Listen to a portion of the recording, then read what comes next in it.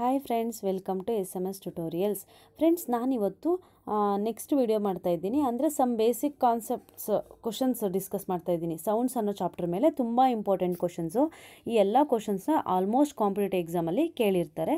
ತುಂಬ easy questions but ಇದನ್ನು ಇದ್ರ ಕರೆಕ್ಟ್ ಆನ್ಸರ್ಸ್ನ ನಾನು ನಿಮ್ಮ ಜೊತೆ ಡಿಸ್ಕಸ್ ಮಾಡ್ತಾ ಇದ್ದೀನಿ. ಓಕೆ ಅದರಲ್ಲಿ ಫಸ್ಟ್ ಕ್ವಶನ್ಗೆ ಡೈರೆಕ್ಟಾಗಿ ಹೋಗೋಣ.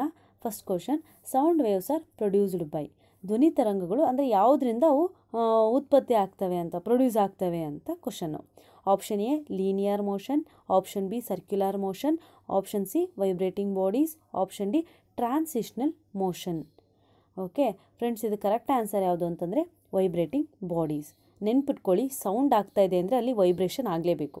ವೈಬ್ರೇಷನ್ ಆಗದೇ ಇದ್ದರೆ ನಮಗೆ ಸೌಂಡ್ ಕೇಳಿಸೋದೇ ಇಲ್ಲ. ಓಕೆ ನಮಗಲ್ಲಿ ಸೌಂಡು ಪ್ರೊಡ್ಯೂಸ್ ಆಗೋದೇ ಇಲ್ಲ. ಅದು ನಿಮ್ಗೆ ತಲೆಗಿರಲಿ ಈಗ ಫಾರ್ ಎಕ್ಸಾಂಪಲ್ ನಮ್ಮದು ವಾಯ್ಸ್ ಬಾಕ್ಸ್ ಇದೆ ಅಲ್ವಾ? ನಾವು ಮಾ, ನಾನು ಮಾತಾಡ್ತಿರೋದು ನಿಮಗೆ ಕೇಳ್ತಾ ಇದೆ. ಅಂದರೆ ಅದರ ಅರ್ಥ ನನಗೆ ವಾಯ್ಸ್ ಬಾಕ್ಸ್ ಇದೆ ಲೆರಿಂಗ್ಸ್ ಅಂತ ಅಂತೀವಿ ಅದನ್ನು. ಅದರಲ್ಲೂ ಸಹ ವೈಬ್ರೇಷನ್ ಆಗುತ್ತೆ. ಆ ವೈಬ್ರೇಷನ್ ಆಗೋದ್ರಿಂದ ಸ, ಆಗೋದ್ರಿಂದ ಏನಾಗುತ್ತೆ? ಸೌಂಡ್ ಪ್ರೊಡ್ಯೂಸ್ ಆಗುತ್ತೆ. ನನ್ನ ಧ್ವನಿ ಪೆಟ್ಟಿಗೆಯಿಂದ ಏನಾಗುತ್ತೆ? ಶಬ್ದ ಉಂಟಾಗುತ್ತೆ.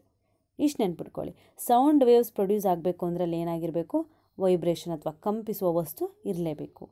ಅದರಿಂದನೇ ಏನಾಗುತ್ತೆ? ಸೌಂಡು ಪ್ರೊಡ್ಯೂಸ್ ಆಗುತ್ತೆ. ಇಷ್ಟೇ. Next second question which waves can't be transmitted through vacuum ಯಾವ ಅಲೆಗಳು ನಿರ್ವರ್ತದಲ್ಲಿ ಹರಡುವುದಿಲ್ಲ.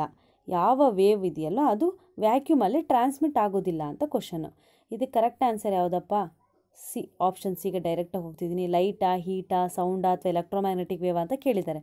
ಕರೆಕ್ಟ್ ಆನ್ಸರ್ ಯಾವುದು? ಹೀ ಸೌಂಡು ಯಾಕಪ್ಪ ಅಂದರೆ ಲೈಟು ವ್ಯಾಕ್ಯೂಮಲ್ಲಿ ಟ್ರಾನ್ಸ್ಮಿಟ್ ಆಗುತ್ತೆ. ಹೌದು ಲೈಟ್ ಆಗುತ್ತೆ ಟ್ರಾನ್ಸ್ಮಿಟ್ ಆಗುತ್ತೆ. ಒಂದು ಮೀಡಿಯಾ ವ್ಯಾಕ್ಯೂಮ್ ಇತ್ತು ಅಂತಂದರೆ ಟ್ರಾನ್ಸ್ಮಿಟ್ ಆಗೇ ಆಗುತ್ತೆ ಲೈಟು ಬಟ್ ಸೌಂಡ್ ಏನಾಗುತ್ತೆ? ಇದು ಯಾವುದೇ ಕಾರಣಕ್ಕೂ ವ್ಯಾಕ್ಯೂಮಲ್ಲಿ ಟ್ರಾನ್ಸ್ಮಿಟ್ ಆಗೋದಿಲ್ಲ ಸೌಂಡು ಸೊ ಇದಕ್ಕೆ ಕರೆಕ್ಟ್ ಆನ್ಸರ್ ಯಾವುದು? ಸೌಂಡು ಸೌಂಡ್ ಆಗಬೇಕು ಅಥವಾ ಟ್ರಾನ್ಸ್ಮಿಟ್ ಆಗಬೇಕು ಅಂದರೆ ಅದಕ್ಕೆ ಒಂದು ಮೀಡಿಯಾ ಬೇಕೇ ಬೇಕು. ಯಾವುದೋ ಒಂದು ಮೀಡಿಯಾ ಅದಕ್ಕೆ ಬೇಕೇ ಬೇಕು. ಹಾಗಾಗಿ ಇದು ಕರೆಕ್ಟ್ ಆನ್ಸರ್ ಯಾವುದು? ಸೌಂಡ್ ಆಪ್ಷನ್ ನೆಕ್ಸ್ಟ್ ಕ್ವಶನ್ಗೆ ಹೋಗೋಣ. Human ear response to intensities in range ಅಂದರೆ ನಾವಿವಾಗ ನಾನು ಮಾತಾಡ್ತಿರೋದು ನಿಮಗೆ ಕೇಳಿಸ್ತಾ ಇದೆ. ಅಥವಾ ಬೇರೆ ಯಾರೋ ಮಾತಾಡ್ತಿರೋದು ನನಗೆ ಕೇಳಿಸ್ತಿದೆ. ಅಂದರೆ ಅದಕ್ಕೂ ನಮ್ಮ ಕಿವಿ ಕೇಳಿಸ್ತಾ ಇದೆ ಅಂದರೆ ಅದಕ್ಕೊಂದು ರೇಂಜ್ ಇರುತ್ತೆ ಕಿವಿಗೆ. ಅದು ಯಾವ ರೇಂಜ್ ಅಂತ ಕೇಳಿದ್ದಾರೆ.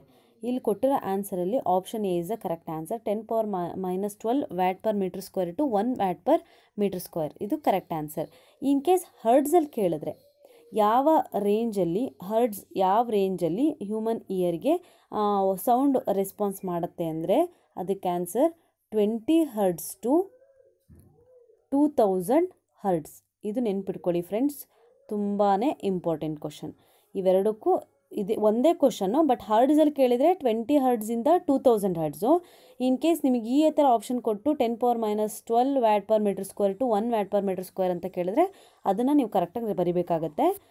ಬಟ್ ಇವೆರಡೂ ಸಹ ನೀವು ನೆನ್ಪಿಟ್ಕೋಬೇಕಾಗುತ್ತೆ. ಇದರಲ್ಲಿ ಯಾವುದೇ ಟ್ರಿಕ್ಸ್ ಇಲ್ಲ, ನೀವು ಇದನ್ನು ನೆನ್ಪಿಟ್ಕೊಳ್ಬೇಕಾಗುತ್ತೆ. ಇದಕ್ಕೆ option A is a correct answer next fourth question sensation of sound persists in our by in our brain for about. ಅಂದರೆ ಇವಾಗ ಸೌಂಡ್ ಯಾವುದೋ ಒಂದು ಸೌಂಡ್ ಆಗ್ತಾ ಇದೆ, ಅದು ನಮ್ಮ ಬ್ರೈನಿಗೆ, ಅಂದರೆ ಸಂವೇದನೆ ಕೊಡುತ್ತೆ. ಸೌಂಡ್ ಆಗ್ತಿರೋದನ್ನು ನಮ್ಮ ಸ, ನಮ್ಮ ಬ್ರೈನಿಗೆ ಹೋಗ್ಬಿಟ್ಟು ತಾನೇ ನಮಗೆ ರೆಸ್ಪಾನ್ಸ್ ಆಗೋದು. ಅದು ಯಾವ ರೇಂಜಲ್ಲಿ ಆಗುತ್ತೆ ಅಂತ ಕೇಳಿದ್ದಾರೆ. ಆಪ್ಷನ್ ಎ ಈ option A zero point zero zero one second zero point two option C point one option D ten seconds ಇದಕ್ಕೆ ಕರೆಕ್ಟ್ ಆನ್ಸರ್ ಅಂದರೆ option C point one seconds ಅಷ್ಟೇ ಸಾಕು. ಪಾಯಿಂಟ್ ಒನ್ ಸೆಕೆಂಡ್ಸಲ್ಲಿ ಯಾವುದೋ ಒಂದು ಸೌಂಡ್ ಬರ್ತಾ ಇದೆ ಅಂತಂದರೆ ಒಂದು ಮೀಡಿಯಾದಿಂದ ಇನ್ನೊಂದು ಮೀಡಿಯಾಗೆ, ಅಂದರೆ ನಮ್ಮ ಬ್ರೈನಿಗೆ ಅದು ರೆಸ್ಪಾನ್ಸ್ ಆಗ್ತಾ ಆಗೋಕ್ಕೆ ಜಸ್ಟ್ ಪಾಯಿಂಟ್ ಒನ್ ಸೆಕೆಂಡ್ಸ್ ಅಷ್ಟೇ ಸಾಕು. Okay option C is a correct answer next next ಕ್ವಶನ್ಗೆ ಹೋಗೋಣ. Loudness of sound varies directly with vibrating body question ಕನ್ನಡದಲ್ಲಿ ಹೇಳ್ತಾ ಇದ್ದೀನಿ, ಕಂಪಿಸುವ ದೇಹದೊಂದಿಗೆ ಶಬ್ದದ ಗದ್ದಲ ಹೇಗೆ ಬದಲಾಗುತ್ತದೆ? ಅಂತ ಕ್ವಶನ್ ಇದೆ. ಫಾರ್ ಎಕ್ಸಾಂಪಲ್ ಫ್ರೆಂಡ್ಸ್ ನೋಡಿ, ಒಂದು ವೇವ್ ಇದೆ ಅಂತ ಅಂದ್ಕೊಳ್ಳಿ ಆ ವೇವ್ ಯಾವ ಥರ ಇರುತ್ತೆ? ಹಿಂಗಿರುತ್ತೆ. ನಾವು ವೇವ್ ರೆಪ್ರೆಸೆಂಟ್ ಮಾಡ್ಬೇಕಾದ್ರೆ ಹಿಂಗೆ ರೆಪ್ರೆಸೆಂಟ್ ಮಾಡ್ತೀವಲ್ವಾ? ಅಂದರೆ ಇದನ್ನು ನಾವು ಏನಂತ ಕರಿತೀವಿ? ಆ್ಯಂಪ್ಲಿಟ್ಯೂಡ್ ಅಂತ ಕರಿತೀವಿ. ಈ ಎಕ್ಸ್ ಆ್ಯಕ್ಸಿಸಿಂದ ಈ ಹೈಟ್ ಏನಿರುತ್ತಲ್ವಾ? ಇದನ್ನು ಇಲ್ಲಿ ತನಕ ಈ ಹೈಟನ್ನು ನಾವು ಆ್ಯಂಪ್ಲಿಟ್ಯೂಡ್ ಅಂತ ಕರಿತೀವಿ. ಸೊ ಇದು ಕರೆಕ್ಟ್ ಆನ್ಸರ್ ವಿಸ್ತೀರ್ಣ. ಅಂದರೆ loudness of sound varies directly with vibrating body ಅದೇನ, ಅದು ಆ್ಯಂಪ್ಲಿಟ್ಯೂಡ್ ಮತ್ತು ಈ ಎರಡು ಕ್ರಸ್ಟ್ ಅಥವಾ ಎರಡು ಟ್ರಫ್, ಇವೆರಡರ ಡಿಸ್ಟೆನ್ಸ್ ಏನಂತ ಕರಿತೀವಿ? ವೇವ್ ಲೆಂತ್ ಅಂತ ಕರಿತೀವಿ. ಓಕೆ ಕರೆಕ್ಟ್ ಆನ್ಸರ್ ಯಾವುದು? Option B amplitude next sixth question sound energy passing per second through a unit area held perpendicular is called ಇದು ಡೆಫಿನೇಷನ್ ಯಾವುದಕ್ಕೆ ಡೆಫಿನೇಷನ್ ಇಲ್ಲಿ? ಕೆಳಗೆ ಮೂರು ಆಪ್ಷನ್ ಇದೆ ಇಂಟೆನ್ಸಿಟಿನ ಫ್ರೀಕ್ವೆನ್ಸಿನ ಆ್ಯಂಪ್ಲಿಟ್ಯೂಡ ಅಂತ. ಫ್ರೀಕ್ವೆನ್ಸಿನ ಇನ್ ಟರ್ಮ್ಸ್ ಆಫ್ ಹಡ್ಸಲ್ಲಿ ನಾವು ಹೇಳ್ತೀವಿ. Sound energy passing per second through a unit area held perpendicular is called intensity ಇದು ಡೆಫಿನೇಷನ್ಸ್ ಫ್ರೆಂಡ್ಸ್ ಈ ಥರ ಸಿಂಪಲ್ ಸಿಂಪಲ್ ಡೆಫಿನೇಷನ್ಸ್ನ ನೀವು ಕಲೀಲೇಬೇಕಾಗತ್ತೆ. ಯಾಕಂದರೆ ಯಾವಾಗ ಎಕ್ಸಾಮಲ್ಲಿ ಯಾವ ಥರ ಡೆಫಿನೇಷನ್ ಕೇಳ್ತಾರೆ ಹೇಳೋಕ್ಕಾಗಲ್ಲ. Sound energy passing per second through a unit area held perpendicular perpendicular ಅಂದರೆ ಈ ಥರ ಈಸ್ ಕಾಲ್ಡ್ ಇಂಟೆನ್ಸಿಟಿ ಅದನ್ನು ನಾವು ಇಂಟೆನ್ಸಿಟಿ ಅಂತ ಕರಿತೇವೆ. Next seventh question speed of sound in solids is ಅಂದರೆ ಸಾಲಿಡ್ಸಲ್ಲಿ ಸ್ಪೀಡ್ ಆಫ್ ಸೌಂಡು ಯಾವ ಥರ ಇರುತ್ತೆ? ಅಥವಾ ಎಷ್ಟಿರುತ್ತೆ ಅಂತ ಕೇಳಿದ್ದಾರೆ. Option A ten times than in gas option B twenty times than in that in gas option C five times that in gas option D fifteen times that in gas option D is a correct answer ನೆನ್ಪಿಟ್ಕೊಳ್ಳಿ ಸಾಲಿಡ್ಸ್ಲಿ ಜಾಸ್ತಿ ಇರುತ್ತೆ compare to liquids ಲಿಕ್ವಿಡ್ಸಲ್ಲಿ ಜಾಸ್ತಿ ಇರುತ್ತೆ compare to gas ಗ್ಯಾಸಿಗೆ compare ಮಾಡಿದ್ರೆ, ಅಲ್ಲ ವ್ಯಾಕ್ಯೂಮಿಗೆ ಕಂಪೇರ್ ಮಾಡಿದ್ರೆ ಗ್ಯಾಸಿಗೆ ಜಾಸ್ತಿ ಇರುತ್ತೆ. Speed of sound in solids is more fifteen times that in gas ಗ್ಯಾಸಲ್ಲಿ ಇರ್ತಕ್ಕಂಥಷ್ಟು, ಅದಕ್ಕಿಂತ ಫಿಫ್ಟೀನ್ ಟೈಮ್ಸು ಸಾಲಿಡ್ಸಲ್ಲಿ ಏನಾಗಿರುತ್ತೆ? ಜಾಸ್ತಿ ಇರುತ್ತೆ.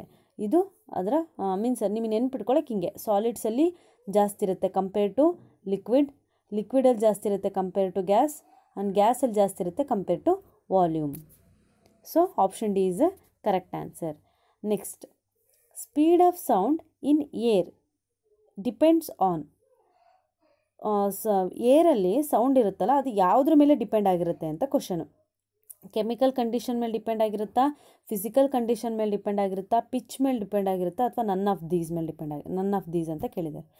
ಸಾರಿ ಆಪ್ಷನ್ ಯಾವುದು ಕರೆಕ್ಟ್ ಆನ್ಸರ್ ಅಂದರೆ option B is a correct answer ಯಾಕೆ ಅಂದರೆ ಸ್ಪೀಡ್ ಆಫ್ ಸೌಂಡು ಏರಲ್ಲಿ ಯಾವುದ್ರ ಮೇಲೆ ಅಂದರೆ ಫಿಸಿಕಲ್ ಕಂಡೀಷನ್ಸ್ ಮೇಲೆ ಡಿಪೆಂಡ್ ಆಗಿರುತ್ತೆ. ಇದು ಜನರಲ್ ಇದು ತುಂಬ ಏನು ಅಂತ ಕಷ್ಟಕರವಾದ ವಿಷಯ ಏನಲ್ಲ ಸೊ ಹೌದು ಫಿಸಿಕಲ್ ಮೇಲೆ ಡಿಪೆಂಡ್ ಎಲ್ಲಿ ಇಲ್ಲಿ ಏನು ಪಿಚ್ ಇರಲ್ಲ ಅಥವಾ ಯಾವುದೇ ಕೆಮಿಕಲ್ ಕಂಡೀಷನ್ ಇರಲ್ಲ ಡೈರೆಕ್ಟ್ಲಿ ಏನಾಗಿರುತ್ತೆ ಫಿಸಿಕಲ್ ಕಂಡೀಷನ್ ಮೇಲೆ ಸ್ಪೀಡ್ ಆಫ್ ಸೌಂಡು ಡಿಪೆಂಡ್ ಆಗಿರುತ್ತೆ. Okay next ninth question sound waves can be transmitted by any sound waves ಯಾವುದರಿಂದ transmitted by any sound waves transmit ಆಗೋಕ್ಕೆ ಒಂದು ಅದು ವೈಬ್ರೇಟಿಂಗ್ ಮೋಷನ್ ಆಗಿರಬೇಕು. ಅಥವಾ ವೈಬ್ರೇಟಿಂಗ್ ಮೋಷನಿಂದ ಸೌಂಡ್ ವೇವ್ಸ್ ಪ್ರೊಡ್ಯೂಸ್ ಆಗ್ತವೆ. ಅದು ಕಾ basic concept sound waves can be transmitted by any option A, ಇಲ್ಲಿ ಮೀಡಿಯಮ್ ಅಂದರೆ ನೆನ್ಪಿಟ್ಕೊಳ್ಳಿ ಸೌಂಡ್ ವೇವ್ಸ್ ಪ್ರೊಡ್ಯೂಸ್ ಆಗ್ತಿದ್ದಾವೆ ಆಗಿದ್ದಾವೆ ಅದು ಏನಾಗುತ್ತೆ ಟ್ರಾನ್ಸ್ಮಿಟ್ ಆಗೋಕ್ಕೆ ನಮಗೇನು ಬೇಕು? ಮೀಡಿಯಮ್ ಬೇಕೇ ಬೇಕು. ವ್ಯಾಕ್ಯೂಮಲ್ಲಂತೂ ಆಪ್ಷನ್ ಬಿ ಅಲ್ಲಂತೂ ಆಗೋಕ್ಕೆ ಸಾಧ್ಯನೇ ಇಲ್ಲ. ಬೋತ್ ಎ ಆ್ಯಂಡ್ ಬಿ ಅಂತೂ ಅಲ್ಲೇ ಅಲ್ಲ. ಸೊ, ಸೌಂಡ್ ವೇವ್ಸ್ ನಮಗೆ ಟ್ರಾನ್ಸ್ಮಿಟ್ ಆಗೋಕ್ಕೆ ಏನು ಬೇಕು? ಒಂದು ಮೀಡಿಯಮ್ ಬೇಕೇ ಬೇಕು. So, option A is a correct answer. Next, tenth question. Which one of the following is used for determining the structure of the crystal? ಒಂದು ಯಾವುದೋ ಒಂದು ಕ್ರಿಸ್ಟಲ್ ಇದೆ ಅಂದ್ಕೊಳ್ಳಿ ಆ ಕ್ರಿಸ್ಟಲ್ನ ಸ್ಟ್ರಕ್ಚರ್ ಹೀಗೆ ಇದೆ ಅಂತ ಡಿಟರ್ಮೈನ್ ಮಾಡೋಕ್ಕೆ ನಾವು ಯಾವುದನ್ನ ಕೆಳಗಿನ ಇಲ್ಲಿ ಇರ್ತಕ್ಕಂಥ ಯಾವ ರೇಸ್ನ ಯೂಸ್ ಮಾಡ್ತೀವಿ. ಗಾಮಾ ರೇಸಾ, ಎಕ್ಸ್ ರೇಸಾ, ಯು ವಿ ರೇಸಾ ವಿಸಿಬಲ್ ಲೈಟಾ. ನಿಮಗೆ ಗೊತ್ತೇ ಇದೆ, ಆಪ್ಷನ್ ಬಿ, ಎಕ್ಸ್ ರೇಸ್. ಅಂದರೆ ಒಂದು ಘನ, ಒಂದು ಸಾಲಿಡ್ ವಸ್ತು ಇದೆ ಅಂದರೆ ಅದ್ರ ಸ್ಟ್ರಕ್ಚರ್ ಹೆಂಗಿದೆ ಅಂತ ನಾವು ಫೈಂಡ್ ಔಟ್ ಮಾಡಲಿಕ್ಕೆ ಎಕ್ಸ್ ರೇಸ್ನ ಯೂಸ್ ಮಾಡ್ತೀವಿ. ಓಕೆ ಫ್ರೆಂಡ್ಸ್ ಅರ್ಥ ಆಯಿತು ಅಂತ ಅಂದ್ಕೋತೀನಿ thank you friends thank you for watching this video